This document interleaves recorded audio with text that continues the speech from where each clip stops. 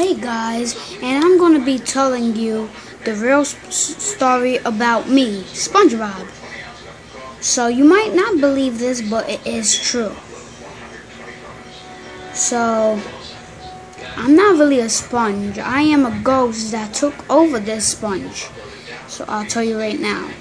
Once upon a time, on a beautiful day, my real name was Bob, and I always took the blame for all the bad stuff. And one day, I died because some some guy said if you don't if you don't uh, do uh, drink like drink liquor drink uh, he's gonna kill me. So I didn't do it. And he killed me.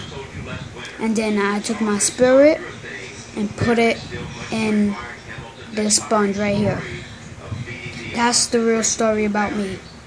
And if you want to hear the real story about Sandy, Mr. Krabs, Squidward, Plankton, even though, nah, he's not in there.